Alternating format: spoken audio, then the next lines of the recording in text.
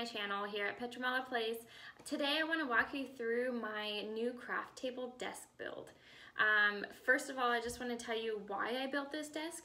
Um, I did have a pretty legit setup already. Um, my parents bought me three white tables about eight years ago. And though I do love the, I loved the tables. They were perfect. They were the color scheme that I was going for. They were the look of the craft room. They were good, um, but they did have flaws, and a few of those flaws were uh, lack of storage.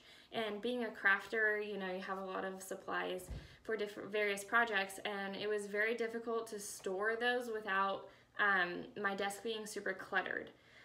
Um, also, another problem that I was having was they were three separate tables, and at the corner, all of the legs met, and I couldn't sit at the corner.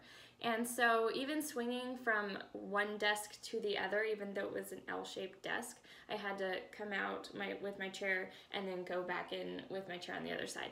So I felt like the corner was really unusable space. Um, it was really just space that I had to like pile up stuff. Um, so it really bugged me. So I had those desks, uh, I'll drop the picture next, uh, for about eight or nine years. Um, and it was just time to make a change. Uh, so I first started looking at different desk build designs on Pinterest and I kind of found bits and pieces of other people's projects that I liked and I combined them into one project um, customized for me and what was going to work best for me. Um, so first of all, my new desk, um, I'm just going to list off what my new desk had to have. One was storage, uh, two was height wise. My old tables were lower, so when you're sitting at a chair, they were nice. But I found myself um, always in the kitchen because of the counter height. Because I'm a stander, and when I'm working on projects, projects I like to stand. So I found myself in the kitchen uh, standing working on projects. So my new desk had to have um, height so that I could stand on it if I wanted to. And then if I wanted to sit, I can just get a taller stool. And then the third thing was the corner needed to be um, accessible for use. Um, so I know you can't see right now, but I am currently sitting at my new desk. I'm excited for you to see it.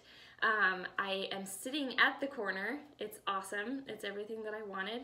Um, so here, I hope you enjoyed the build. If you have any questions, please leave it in the comments below.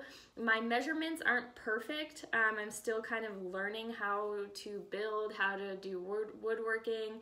Um, they're not perfect, so please don't judge me on my silly measurements or my ideas of how I built it. Um, like I said, I'm not a professional furniture builder. Um, I'm just someone who likes to try to do things and if they're not perfect, that's okay. They're homemade, they're made by me, they're custom for me.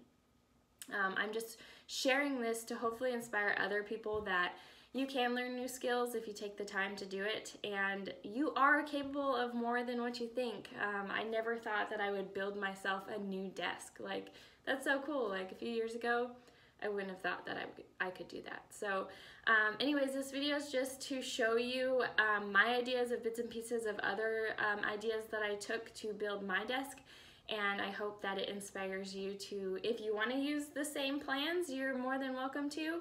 I'm going to link my blog below to where I have more details of the build. Um, but as far as video, I hope you can just quickly go through it and get get the information that you need and hopefully inspire you to build your own craft desk. Here is my old desk. It's super cute, but as you can see, different flaws. So first order of business was to decide on my measurements. I knew I wanted to do an 8 by 8 by 8 uh, table length L shape. So I went to uh, Home Depot and I bought most of the wood and supplies there. The six cube organizers for the legs I did buy through Walmart, so I picked those up from walmart.com. Um, here I am going back and forth uh, with the various uh, pieces of wood, um, basically doing a herringbone pattern at the corner. So I just alternated the the wood going back and forth to measure out at eight feet long and um, I just cut off what was needed to make that herringbone pattern at the corner. Also, I'm using 8 foot long 4 by one boards for the tabletop. After I got all of the boards cut to length, my next step was to mark on the wood where I was going to place the biscuits. So here you can see the circles. Um, that's where each biscuit is going to be placed. I measured out five inches in between each circle. Um, basically here is me and my friend. She's helping me hold the wood in place so it doesn't move so that I can place the biscuit uh, cuts with the biscuit joiner tool. Uh, this tool is very easy to use. Um, I can do a tutorial on how to use it in the future, um, but as of right now, just make sure that all of your your uh, lines are measured um, and lined up, and then get the tool up to speed and place it into the wood. Next step was to place all of the biscuits. So I just ran a bead of wood glue down the length of the board.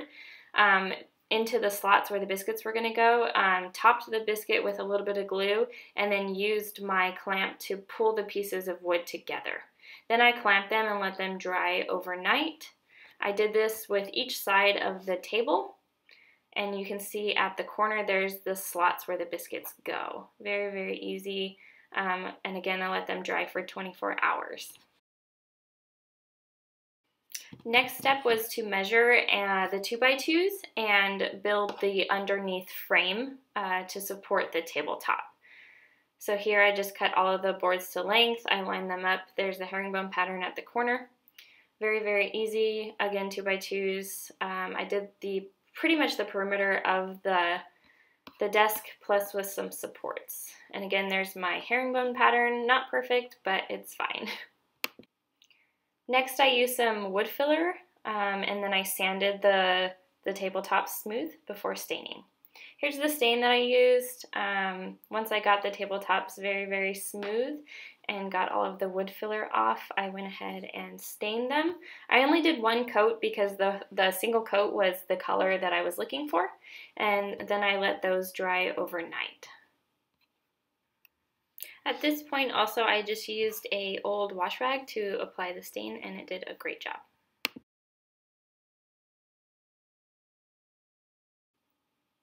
Next, I used the Wipe On Poly. This was a very easy product to use. It goes on pretty thin. Um, I did end up doing three coats. Um, I put on the first two coats with a couple hour dry time in between, and then I lightly sanded uh, the tops after about four hour dry.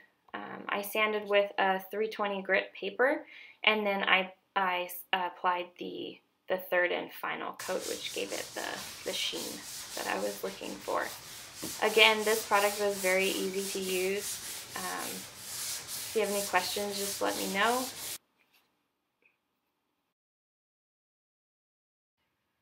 After I was done sanding, as you can see, it goes from dull to shiny, and this is the third coat. I didn't have to do anything after the third coat. Um, it dried very smooth and very shiny.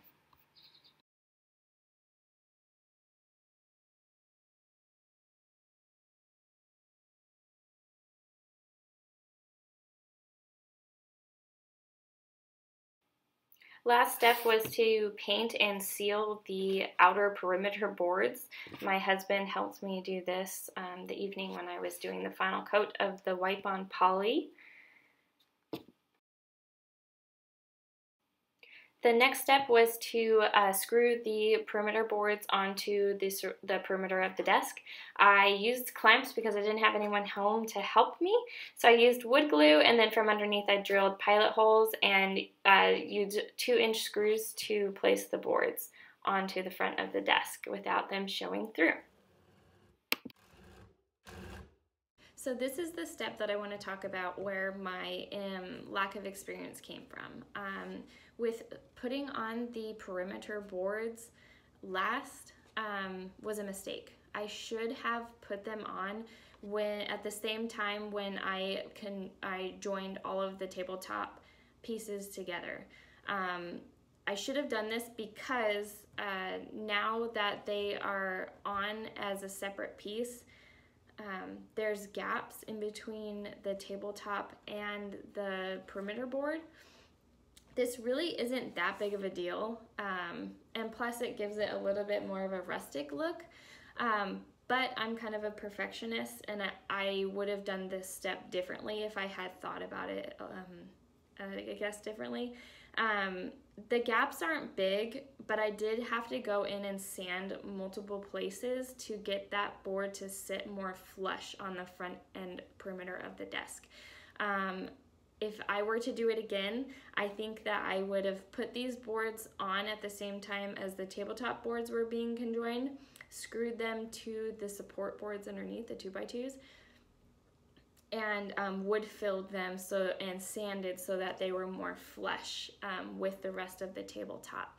Then I probably would have taped them off, stained the tabletop, and then painted them white like I originally planned to.